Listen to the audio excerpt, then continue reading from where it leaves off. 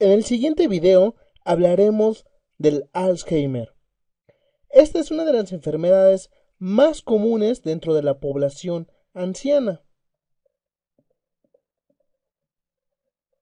afectando a nivel mundial aproximadamente del 1 al 5% de toda la población mayor a 65 años.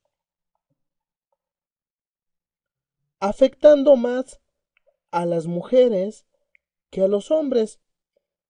Su causa hasta el momento es desconocida y solamente al 10% del total de los casos se le puede atribuir un origen genético.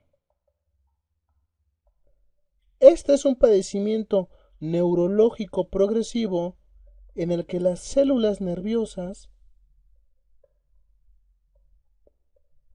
van muriendo.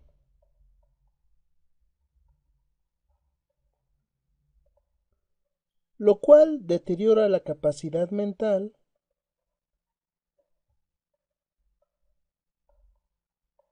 la capacidad de memoria,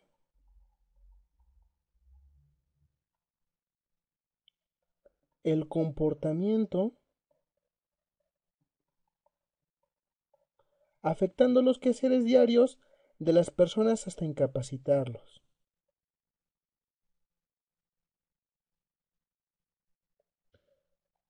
Existen diversos factores de riesgo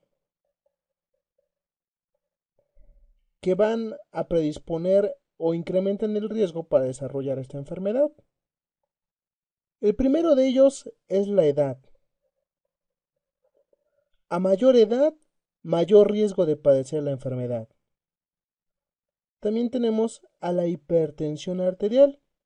Por mucho tiempo, si se ha desarrollado esta enfermedad, y más común si no ha tenido un buen control o tratamiento de esta enfermedad. También podemos mencionar el antecedente de traumas craneales principalmente de importancia. Otro también muy importante es encontrar a nivel de la sangre un químico llamado homocisteína, lo cual se, se relaciona con enfermedades crónicas, entre ellas el Alzheimer. Y de tener dentro de la familia un historial de algún grado de demencia o algún familiar que haya padecido síndrome de Down. Para hablar del cuadro clínico, es importante mencionar que la pérdida de memoria no es igual a la enfermedad, dado que la falta de memoria puede deberse a múltiples causas, como puede ser la depresión, el uso excesivo de alcohol, alguna enfermedad que cause problema de la tiroides,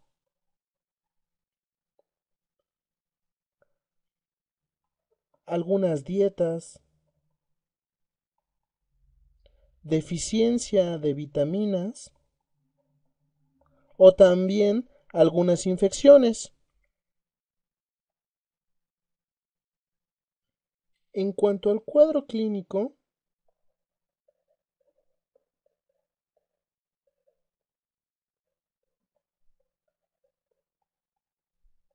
dentro de los síntomas más característicos es la pérdida de memoria.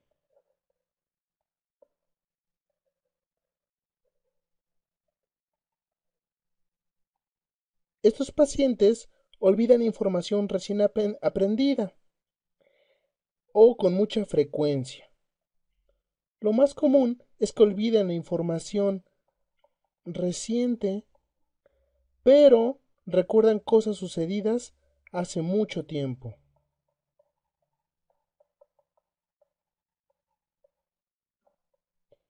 Es normal olvidarse de nombres o citas de vez en cuando. Estos pacientes además tienen dificultad para realizar tareas habituales. como puede ser preparar los alimentos o preparar la comida, hacer algún tipo de llamada telefónica o jugar algún juego. Es normal que a veces las personas ocasionalmente olviden porque entraron a una habitación o qué iban a decir. Estos pacientes llegan a tener problemas con el lenguaje, olvidando palabras simples y sustituyendo las palabras por palabras inapropiadas o desconocidas.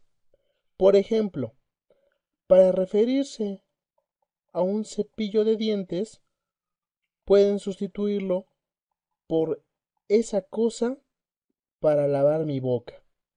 Es normal que a veces se tenga dificultad para encontrar una palabra correcta.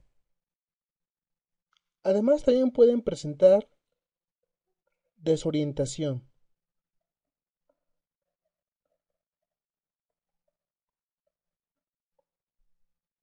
Estos pacientes se pueden incluso llegar a perder o no saber por qué se encuentran en su propia casa. Perderse en su propia calle o no recordar cómo es que llegaron allí. Lo que es normal es a veces olvidarse del día o de la semana o el lugar hacia donde uno iba.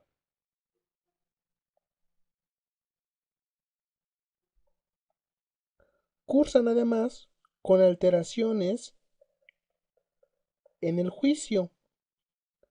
Por ejemplo, ellos se pueden usar ropa muy abrigadora, por ejemplo, en el verano, o regalar, por ejemplo, dinero. Es normal tener una mala decisión de vez en cuando. Además, ellos pueden tener dificultad para realizar tareas mentales. Pueden confundirse fácilmente al pensar en cosas abstractas. Por ejemplo, olvidar el significado de los números, para qué son o cómo se usan.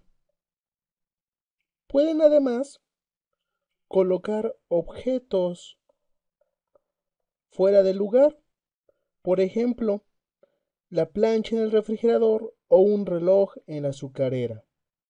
¿Qué es normal? Perder las llaves o la billetera temporalmente.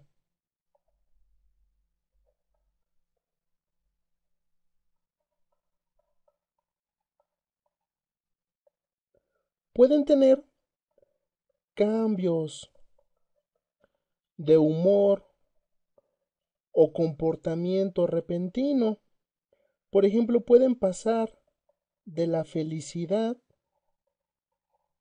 al enojo o mostrarse agresivos sin causa aparente.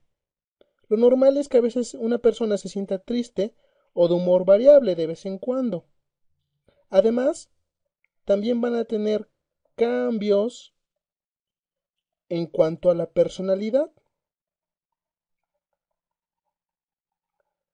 Por lo regular estos cambios son drásticos y pueden mostrarse confundidos, desconfiados, temerosos o depender mucho de un miembro de la familia. Con la edad es normal que todos presentemos pequeños cambios en la personalidad.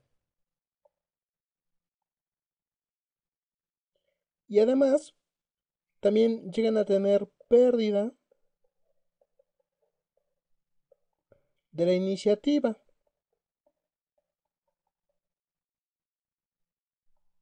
Estos pacientes pueden volverse muy pasivos. Por ejemplo, sentándose horas frente a la televisión, durmiendo más de lo normal o negándose a hacer sus actividades cotidianas. Es normal que una persona se canse los quehaceres y las obligaciones sociales o del trabajo. En cuanto al diagnóstico,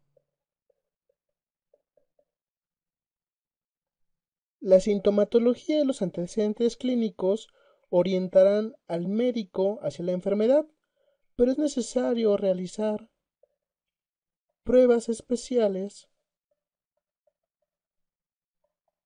las cuales van a valorar las funciones mentales superiores, como es la memoria o la resolución de problemas. Si estas son indicadoras de Alzheimer, se iniciará tratamiento. Si no son concluyentes, se pueden hacer pruebas o se pueden repetir estas pruebas después de cierto periodo de tiempo. Además, es necesario una exploración física adecuada y algunas técnicas de imagen.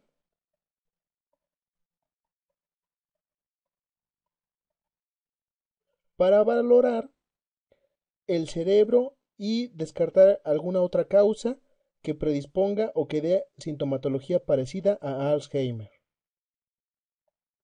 Así como también toma de muestras de sangre para valorar los niveles de homocisteína.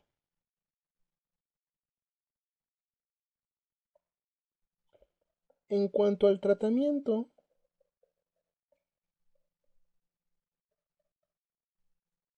actualmente no existe cura para el Alzheimer, pero existen medicamentos que van a retrasar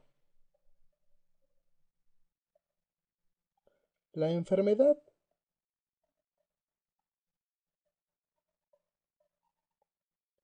permitiendo que los receptores químicos de las neuronas trabajen de forma adecuada. Además, el médico proporcionará medidas adecuadas para manejar los problemas de comportamiento, agitación y riesgos en el hogar, los cuales pueden incluir medicamentos o solo medidas generales.